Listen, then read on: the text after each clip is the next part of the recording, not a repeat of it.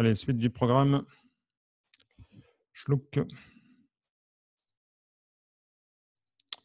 Alors, schluck. Ça, on a vu. Alors. Alors, je vais vous dévoiler un secret maintenant. Un secret pour gagner un temps considérable en improvisation. Je pèse mes mots, considérable. Alors, c'est quoi l'idée? L'idée, c'est de. Donc là, je m'adresse à tous ceux qui veulent improviser. Alors là, quand je parle d'improvisation, généralement, il y en a Oh là, c'est pas, c'est pas, pour maintenant. Moi, je suis débutant. Mais messieurs dames, on peut improviser même quand on est débutant. Euh, si vous avez eu, euh, euh, des enfants, si vous avez des petits enfants, si vous êtes en contact d'enfants, vous vous rappelez ce que vous faisiez quand vous étiez petit. les enfants improvisent tout le temps, quoi. Ils improvisent des poésies, ils improvisent des chansons. Enfin bon, je me rappelle que ma sœur, à l'âge de 5 ans, elle chantait tout le temps et elle improvisait des chansons. pour elle racontait ses journées à l'école, quoi. Bon, voilà, on, a tous fait ça. Bon, du coup, euh, l'improvisation, c'est pas difficile en soi. C'est pas l'improvisation qui est, le fait, enfin le fait d'improviser, c'est pas quelque chose de très difficile. Ce qui est difficile, c'est de faire une improvisation qui plaise et qui soit cohérente avec les morceaux qu'on joue. C'est ça qui est, beaucoup plus difficile. Donc l'écart, en fait, entre l'action d'improviser et le fait de faire une improvisation qui sonne bien dans un, certain contexte, bah, le quart est énorme. La marche est très très haute parce qu'on se dit euh, euh, improviser, ah bah oui, je prends un harmonica, je fais ça ça j'ai improvisé. Bon, maintenant, comment je fais un truc qui, qui ressemble à quelque chose, qu'on a envie d'écouter, que moi-même j'ai envie de, développer, des choses comme ça. Ça, c'est un peu plus difficile.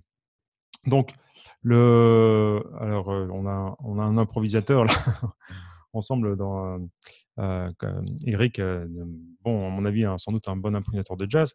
Donc, je pense que ça, tu vas, tu vas, tu vas pouvoir confirmer. Mais le, il y a plusieurs manières d'improviser. C'est-à-dire qu'il y a plusieurs approches possibles. Et alors là, je parle vraiment d'expérience parce qu'au début, on me disait, mais t'embête pas avec euh, travailler un tour d'improvisation. Écoute, tu joues ton morceau 500 fois et puis la 500e, 500, la 100, bon, alors 499 fois et 500, la 500e fois, je vais y arriver. Parfois, j'ai des problèmes d'élocution. je travaille, hein, je, fais des exercices de diction. Euh, trois tortues trottaient sur trois toits très étroits, des choses comme ça. Hein, donc, euh, l'original ne se désoriginalisera jamais. Voilà, parfois, voilà. Mais parfois, bon, ma pensée va très vite, mais la, voix suit pas toujours. Enfin bref, vous avez compris le principe, c'est quand on fait le, le, morceau 30 fois, 40 fois, 50 fois, et après on se dit, à force d'entendre le morceau, de s'imprégner du morceau, on est capable d'improviser. Oui, d'accord, mais sauf que bah, ce serait bien de pouvoir gagner du temps. Et donc, à un moment donné, on se dit, bah, ok, je vais travailler l'improvisation. Et alors, comment est-ce qu'on peut faire pour travailler l'improvisation? Bah, On peut se dire, bah, tiens, euh, bah, je vais jouer, euh, qu'est-ce que je peux faire? Alors, ce que je vais faire, c'est qu'on va prendre un, va prendre un petit exemple ce sera, ce sera peut-être encore le mieux. Alors, on va juste prendre un exemple. je, vais juste vous montrer une partition pour que vous compreniez le principe.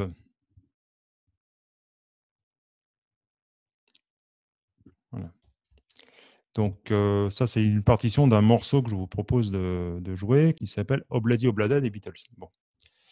Donc, en fait, dans une partition, vous avez quoi? Eh bien, vous avez la mélodie. Donc là, c'est la mélodie qui est écrite en, notes. Vous avez la tablature en dessous. Et au-dessus, vous avez des accords. Bon. Et eh ben en fait, le truc, c'est que quand on improvise, euh, je pourrais très bien dire. Alors, moi, c'est une démarche que j'ai, que, que, que, j'enseigne beaucoup à, mes élèves et qui marche très bien. C'est se dire, on va se servir de la mélodie. C'est-à-dire qu'en fait, si je dis euh, Do, Ré, Mi. Alors, attendez, on va juste faire ça ensemble. Euh, si je dis Do, Ré, Mi, eh ben, je vais dire, admettons que la, mélodie soit Do, Ré, Mi. Bah, je veux dire, je vais improviser. Et pour improviser, je peux faire quoi? Bah, Je prends les mêmes notes et les mettre dans, dans un, autre, un, autre ordre. Hein. C'est comme le tiercé, je fais dans le désordre. Donc, j'ai Do, Ré, Mi. Et ben, au lieu de faire Do, Ré, Mi, je peux faire, par exemple, qu'est-ce que je peux faire, par exemple, à la place de Do, Ré, Mi? Donnez-moi un ordre dans la fenêtre de conversation, là. juste remettez-moi les, mêmes notes, mais dans un ordre différent. Donc il y a Do, Ré, Mi, on peut écrire quoi? Mi, Do, voilà par exemple. Dijon, et ben voilà. Voilà, c'est une, une, une, une phrase improvisée avec les mêmes notes. Puis on se doute que ça va bien sonner avec l'accompagnement parce que si la mélodie c'est Do, Ré, Mi et qu'au même moment, au lieu de faire Do, Ré, Mi, on fait Mi, Ré, Do, il y a de grandes chances que, ça sonne bien. Ou Ré, Do, Mi par exemple. Voilà, très bien. Franck a proposé Ré, Do, Mi. Donc, si je fais Do, Ré, Mi plus Mi, Ré, Do plus Ré, Do, Mi, ça fait.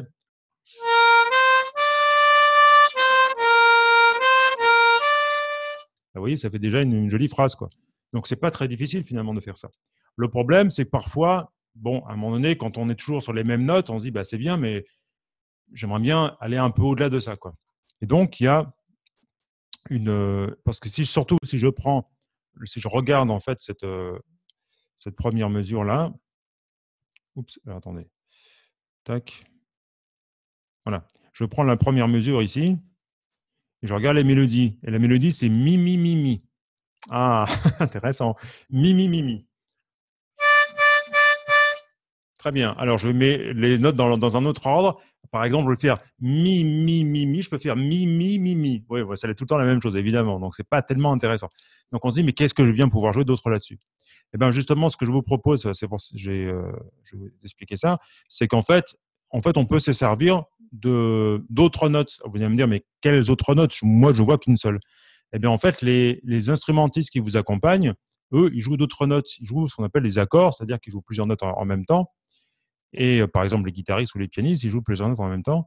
Et les accords sont indiqués ici. Donc, euh, euh, un C, par exemple, majuscule, ça désigne un certain, accord.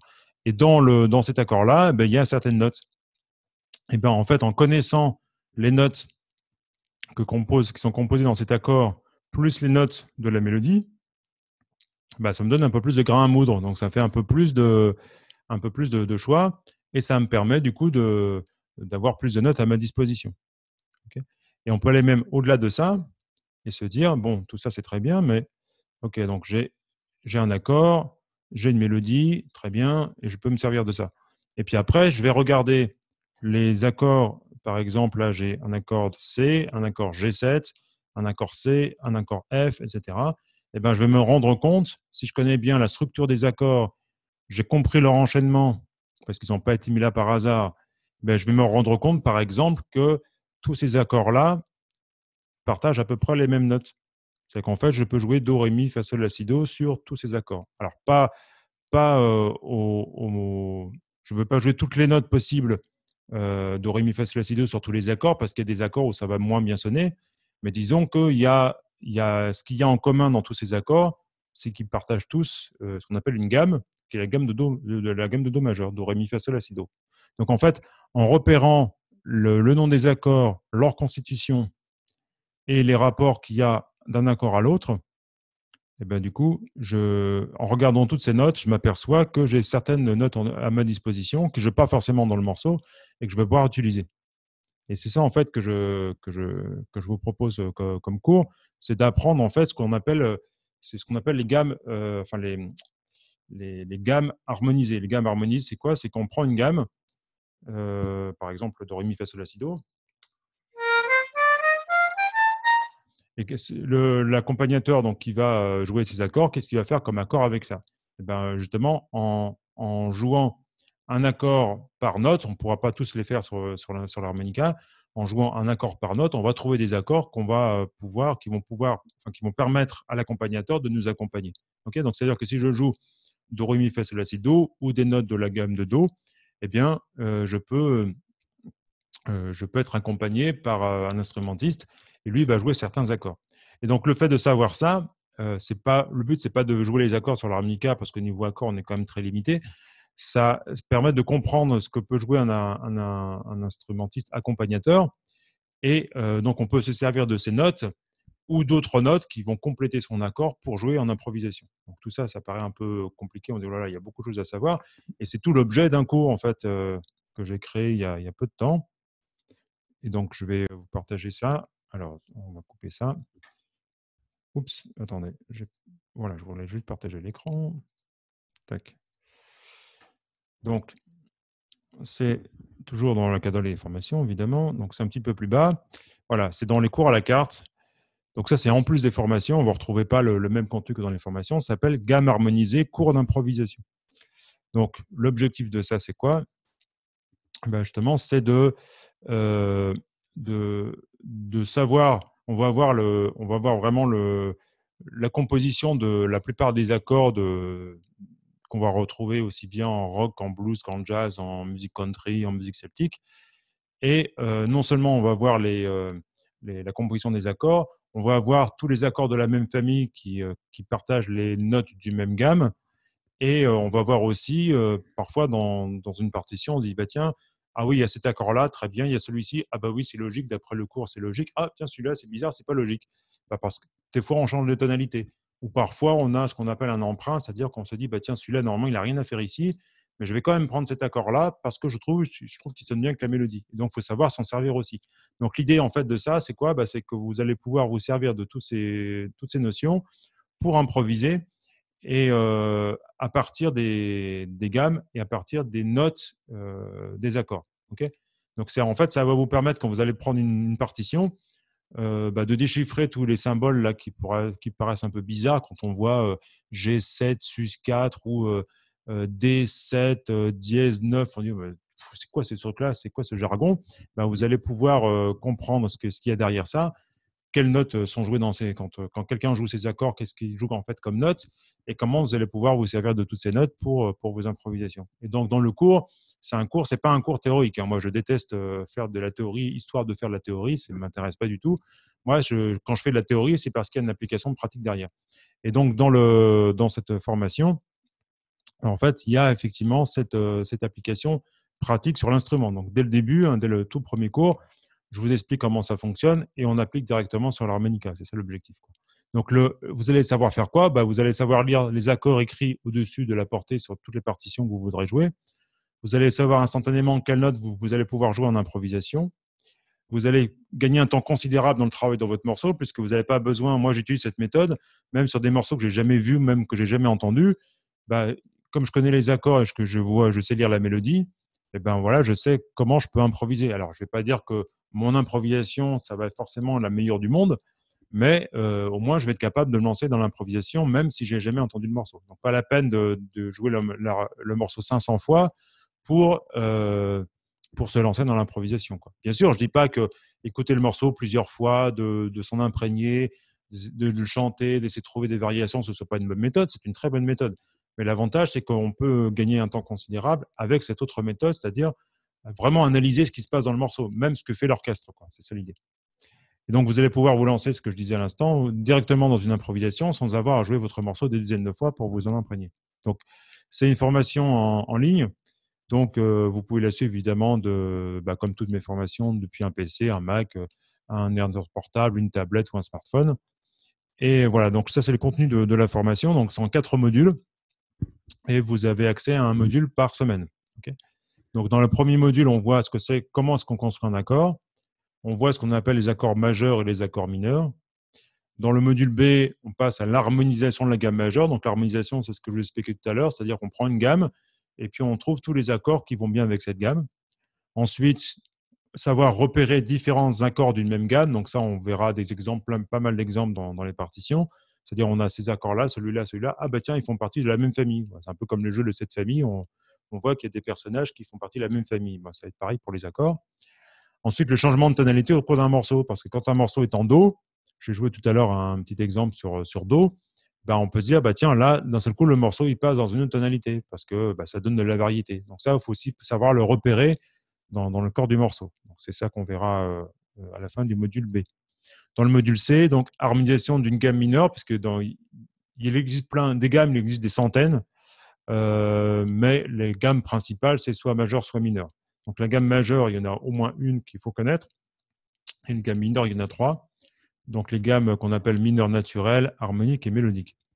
Et dans le module D, vous avez, euh, là on va vraiment au-delà de, de, la musique populaire, mais c'est des choses qu'on voit en jazz notamment, et parfois en blues, ce qu'on appelle les accords altérés, donc ce sont d'autres types d'accords. Les emprunts, c'est-à-dire euh, à un moment donné dans le morceau, on dit, bah, tiens, celui-là, il fait pas partie de la famille, celui-là. C'est une pièce rapportée. Qu'est-ce qu'il vient faire ici? Eh ben, euh, on a juste emprunté cet accord-là parce qu'on se dit, bah oui, mais euh, moi, je trouve que ça sonne bien. Ok, on, a droit on le droit de l'écrire, on a le droit de le jouer. donc, il faut aussi savoir le repérer et savoir ce qu'on fait avec. Et puis aussi, pour aller au-delà de ça, pourquoi pas jouer d'autres gammes? Donc, même si euh, on se dit, bah, tous ces accords-là, ils font partie d'une même famille, du je joue une gamme, je joue certaines notes avec cette famille d'accords, et ben moi, j'ai envie de faire autre chose. Ah oui, ben, j'ai le droit. Donc on verra aussi d'autres idées qui nous permettent d'aller au-delà de, de, bah, tout ce qu'on aura vu, comment je, me sers de, ces accords-là pour amener autre chose. Et à quoi ça sert de faire ça C'est pour jouer les rebelles bah Non, c'est juste parce que on se dit, bah tiens, ce morceau-là, par exemple, il est en Do majeur. Eh ben, moi, j'ai envie de, de, le faire un peu différemment pour qu'il sonne un petit peu différemment, donner un petit côté oriental ou un petit côté bluesy, des choses comme ça. Donc ça, c'est aussi des choses qu'on apprendra à faire. En tout cas, on commencera à le, faire dans le module D. Voilà. Et alors, euh, euh, le truc, c'est que, euh, alors ça, c'est une, alors j'ai fait en sorte que le que le, cours soit accessible aux grands débutants. C'est-à-dire, bon, faut au moins savoir jouer quelques mélodies à l'harmonica, évidemment, mais tous les exemples sont vraiment adaptés pour les débutants. Et, et je fais en sorte, j'essaie de faire en sorte que les cours soient pas trop trop chers, quoi, parce que moi j'ai cœur à ce que la musique puisse être suivie par le plus grand nombre et qu'elle soit pas réservée à une élite. Donc je vous ai fait, trouvé j'ai réussi à vous faire un tarif qui est qui est vraiment pas élevé, mais en plus de ça, ça c'est la tradition dans l'école d'harmonica depuis depuis la toute première formation que j'ai lancée en septembre 2014, donc c'est bientôt trois ans. Chaque fois que je lance une nouvelle formation, il y a une promotion de lancement. Voilà, c'est la tradition. Donc, quelqu'un en a déjà profité. Et alors là, quand j'ai, euh, je dis, allez, je vais faire cette promotion-là. Et après, une fois que j'ai fait la page, etc., je me dis, oh, j'ai peut-être un peu exagéré. la promotion est quand même un peu, un forte, mais voilà, maintenant que je l'ai fait, je vais pas revenir dessus. Donc, normalement, le cours, il est à 29 euros, ce qui est quand même pas cher pour quatre modules de cours. Et là, exceptionnellement, il est à 9 euros au lieu de 29. Donc, pour 9 euros, vous avez juste tout simplement, euh, juste quoi? Bah, Vous avez euh, quatre modules de cours. Donc, pour tout ce que j'ai dit, tout ça, c'est pour seulement 9 euros. Et c'est pas, il n'y a pas d'accès limité du genre, allez, c'est bon, vous avez tout vu ça en un mois, c'est bon, vous avez réussi, vous avez réussi, tant pis, vous n'accédez plus à rien. Vous avez un accès à vie, hein, toujours. Hein. OK? Voilà. Et donc, ce sont des cours en vidéo. Par exemple, euh, le, module A, construction d'un accord et les accords majeurs. J'ai fait ça dans la même vidéo. Donc, il y a deux parties dans cette vidéo. Cette partie, la vidéo dure 40 minutes. Donc, vous voyez, c'est pas juste je vous apprends un truc en 5 minutes, puis après, débrouillez-vous. Si vous avez compris, très bien. Si vous n'avez pas compris, tant pis. Non, non, je passe vraiment du temps à vous donner des exemples, à vous expliquer les choses dans le détail. Hein. donc, c'est les, ça fait quelques heures de, quelques heures de cours quand même. Hein. C'est pas, c'est pas juste ça paraît, on peut dire, oui, il y a juste quatre modules, il y a juste trois cours à chaque fois. Non, il y a vraiment tout à, ce sont des vidéos, il y a des ressources à télécharger, il y a beaucoup d'exemples sur l'harmonica en si bémol, évidemment. Donc ça, alors c'est 9 euros, alors c'est pas tout le temps, évidemment. Donc euh, j'avais lancé, j'avais lancé un email là-dessus il y a quelques jours. La, la, promotion dure une semaine, donc là il reste 4 jours, 21 heures, 42 minutes et 57 secondes. 56 euh, secondes, 55. Ok, d'accord, très bien. Donc il faut suffit de cliquer sur le, bouton euh, accès à la formation et vous êtes redirigé sur PayPal. Alors, si vous voulez prendre l'information et que PayPal, ça vous, gêne parce que vous n'aimez pas ou vous n'avez pas de compte PayPal, il suffit de m'envoyer un email. Si vous préférez m'envoyer un chèque, me faire un virement et puis on verra ça ensemble. Mais bien sûr, évidemment, si vous envoyez un chèque dans deux jours, vous me dites, bah voilà, la promotion, sert dans deux jours, je vous envoie un chèque. Malheureusement, le chèque, je le reçois après la fin, après la fin de la formation. Bon, je vais pas être vache. Hein, si euh, vous avez euh, envoyé votre, euh, votre chèque avant que la promotion s'arrête, même si je le reçois après, bah, vous avez quand même droit à la, promotion. Quand même. Ce serait quand même pas, pas très honnête de ma part de vous dire Ah, désolé, je l'ai reçu après, bah voilà, vous payez 20 euros de plus. OK? Voilà. Alors, est-ce que vous avez des questions là-dessus? Euh, Franck dit Je t'envoie un chèque demain. OK, super. Euh, voilà, voilà. Très bien. Pas d'autres questions sur cette formation? Pas pour le moment. OK. Donc l'objectif, hein, c'est vraiment d'apprendre à improviser et ça, c'est une méthode qui vous permet d'improviser dans tous les styles. Alors après, évidemment, si vous voulez vraiment devenir un super harmoniciste de blues ou de celtique ou de country, par exemple, ou de jazz, bah, évidemment, après, il y a d'autres choses à voir. Il n'y a pas que ça. Mais ça, l'avantage de cette méthode, c'est que moi, j'utilise tout le temps. Dès que j'ai un morceau, j'utilise ça. Après aussi, j'utilise aussi d'autres outils, mais au moins, j'utilise ça. Et ça me permet déjà de, proposer des choses. Et vous verrez, hein, je, sur le module A, euh, je, prends l'exemple sur Obladi Oblada, vous allez voir, franchement, avec, euh, avec ces, ces, méthodes-là, vous êtes déjà capable de, de, faire des choses vraiment, qui sonnent vraiment bien. Et du coup, ça vous fait directement des variations, même si vous n'avez pas beaucoup d'idées à la base. avec cette méthode, bah, vous pouvez sortir des phrases comme on l'a fait avec euh, Migredo, Doré, Migredo, Mi, des choses comme ça. Et ben, vous avez des notes et après on dit tiens, on va, on va varier un petit peu la mélodie avec nos, les notes qu'on a, etc. On peut, on peut faire pas mal de variations.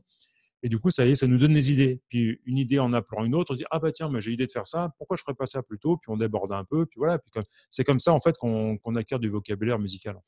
Et ça, le vocabulaire, évidemment, ça nous sert évidemment euh, beaucoup pour, pour l'improvisation. Ok.